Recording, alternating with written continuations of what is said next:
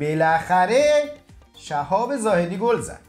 یعنی واقعا همه شگفت زده شدن که این بازیکن گل زد. چون اصلا عادت نداریم این گل بزنه. یه مهاجم گل نزنی که پشت سر هم موقعیت از دست میده.